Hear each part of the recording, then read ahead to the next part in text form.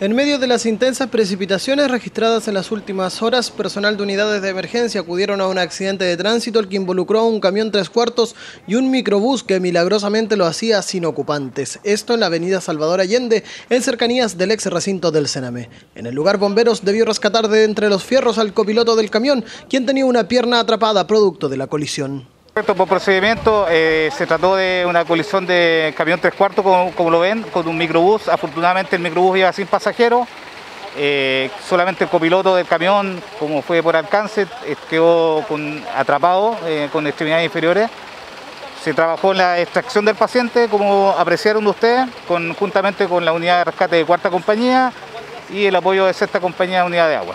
Esa, labor cuando está atrapado hay que usar las herramientas hidráulicas para extraer el paciente del vehículo porque no podía salir por su propio medio.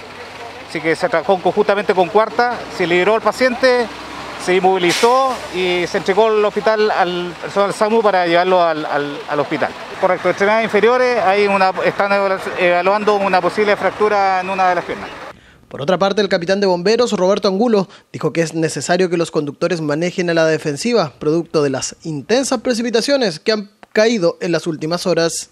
Eh, en estas condiciones de tiempo, de mal tiempo como está ahora, de lluvia, de viento, eh, se hace un llamado a los conductores, un manejo a la defensiva y manejo seguro. Bueno, el tránsito eh, dificultoso hasta ahora, el taco en la entrada de Portobón es bastante intensa hasta ahora sumándolo a las condiciones climáticas. Eh, complicado el trabajo, pero llegó prontamente Carabineros y ahí se pudo regular el tránsito también.